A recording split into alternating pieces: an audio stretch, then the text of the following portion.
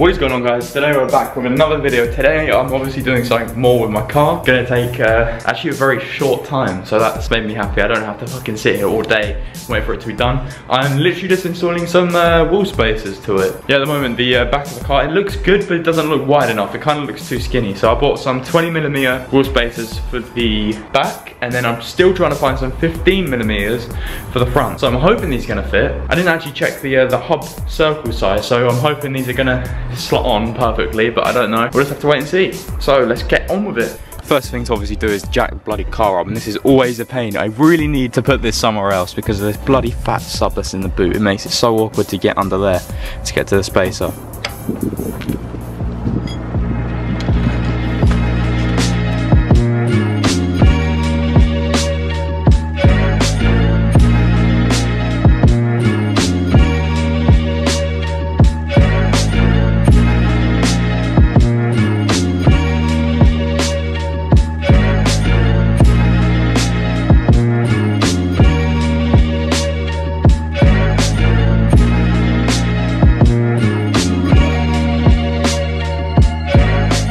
What do you need to do this? I hear you are. Obviously, you got your wheel off, you got your spaces ready to stop it from corroding or whatever the word is. It like sort of meshes together so it make it impossible for the spacer to actually come off and you don't want to be damaging it.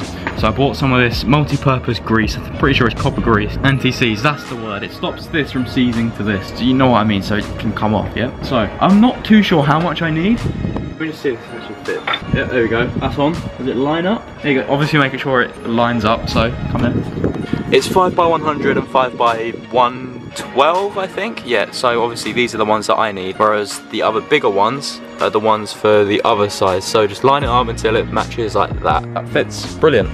Now, you have your spacer. Here's the thing. Let me just pierce this. So you don't want loads, but you don't want too much. I'm pretty sure that's what the guy's already done here. So I'm just gonna kind of do it like this and then try and spread it about a bit. Probably not the way to go, you probably want a tissue, but I'm outside now and I can't be asked to get tissue, so this will have to do. And then around the outside, just a tiny bit. To be honest, it's probably better if you do this on your hubcap rather than on this. I'm not actually sure why I'm doing it on this. You probably should do it on your, that's really windy. Probably should do it on your hubcap, probably very wrong, but if you're a noob like me, you obviously just want to do it the easiest way possible. This is probably not it. I don't know why I didn't get a tissue. Really need a tissue. Oh, I've got tissues in my car, hold on. Just go around it like this. That's actually not too bad, I think that's alright. That will probably do.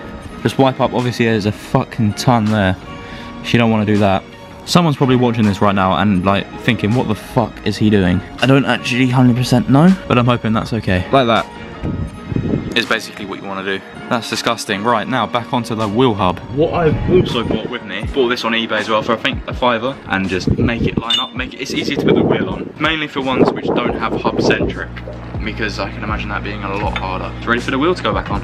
It's probably best just to wipe the remains of what you got on your tissue on here just to be safe. There you go, just a little, literally a tiny bit because I'm, I'm gonna have my wheel off all the time. So then you just gotta line it up, pray to God that it fits, because if the wheel hub doesn't fit on then you're fucked. Okay, that's not even on. Oh yeah, obviously, no, I'm fucking retarded. Your normal um, bolts aren't gonna fit in, I don't know why I even bothered to try that. That's why there are new bolts, longer bolts. Obviously, I'm actually fucking thick.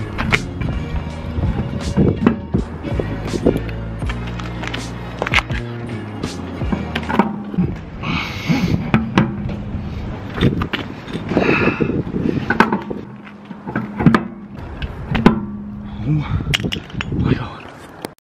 Genuinely is a lot harder than it needs to be to put a bloody wheel on. You get your longer bolts, So that's the only problem. Your lock and wheel nut's gonna be fucking useless. Because obviously it's not fit on. So anyway, let's just start tightening these ones up.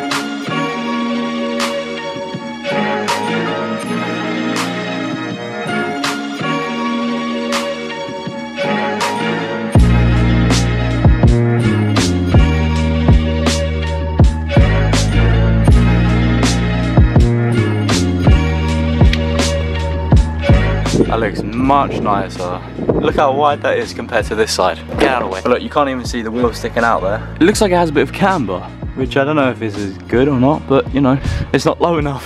Doesn't look low enough. I've got to tighten these ones up and then do the same for the other side.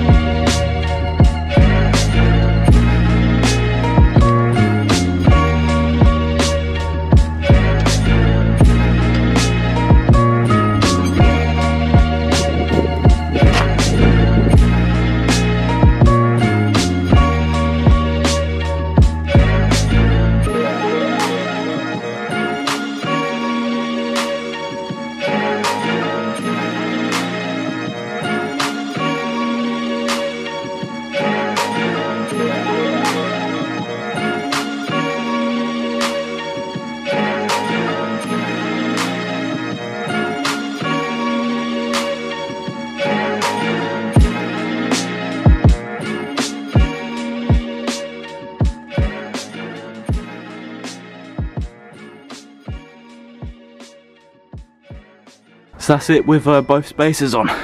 You can actually see the wheel sticking out now. So much better than what it was. So that's how you put wheel spacers on. It's pretty simple, just takes a lot of time and effort. Well, not actually a lot of time. It's probably about a half an hour job, to be fair, if you know what you're doing, which I sort of did and sort of didn't.